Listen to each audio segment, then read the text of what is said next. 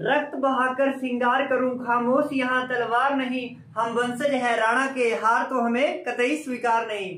तो hello good morning good afternoon good evening whatever जो भी है।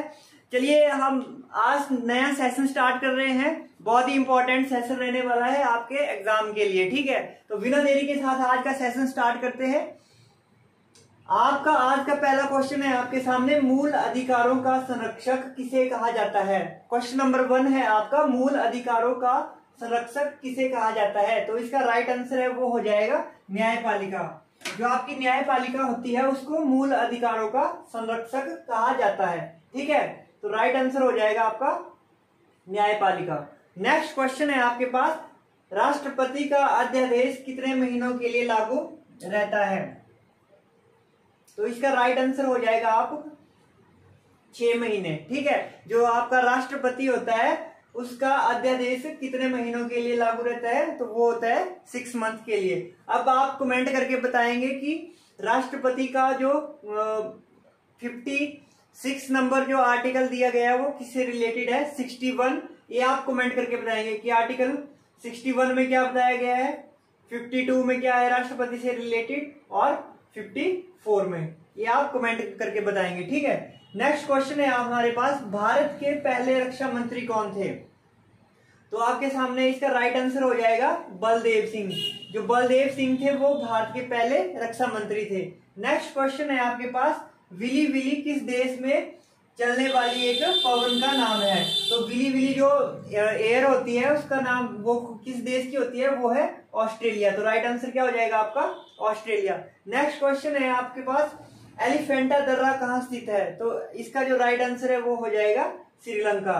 जो आपकी जो एलिफेंटा दर्रा है, वो कहाँ पे स्थित है? श्रीलंका में। पहला क्वेश्चन था हमारे पास, मूल अधिकारों का संरक्षक किसे कहा जाता है? वो है न्यायपालिका। ठीक है? नेक्स्ट है राष्ट्रपति का अध्यादेश कितने महीनों के लिए लागू रहता है? वो रहता है सिक्स महीने मंथ के लिए। ठीक है? नेक्स्ट था हमारे पास, भारत के पहले रक्षा मंत्री कौन थे? वो हो जाएँगे आपके बलदेव सिंह। नेक्स्ट है विली विली किस देश में चलने वाली पवन का नाम है? तो वो हो जाएगा आपका विली विली ऑस्ट्रेलिया। ठीक है? एलिफेंटा दर्रा कहाँ स्थित है? तो इसका हो जाएगा श्रीलंका में। आपकी एलिफेंटा दर्रा स्थित है।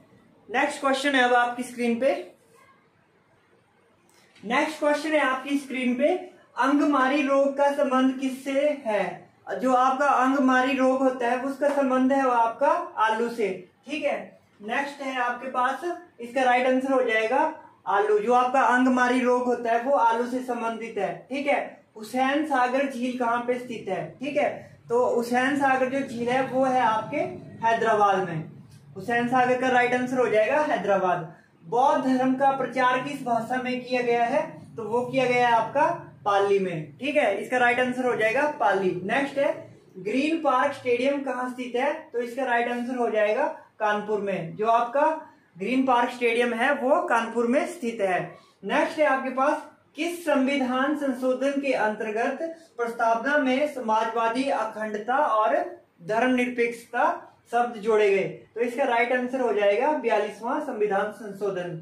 जिस जिसको भी आता है आंसर कि बयालीसवां संविधान संशोधन कब हुआ था कमेंट में आंसर बताएँ कि बयालीसवां संविधान संशोधन कौन से किस वर्ष में हुआ था।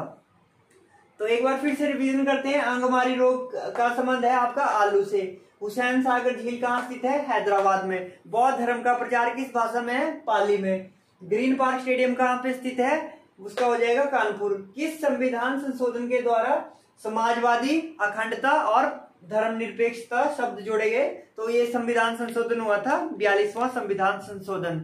तो आशा करता हूँ आपको आज का सेशन अच्छा लगा होगा। इसी के साथ वीडियो को एंड करते हैं। बहुत बहुत धन्यवाद। Thank you so much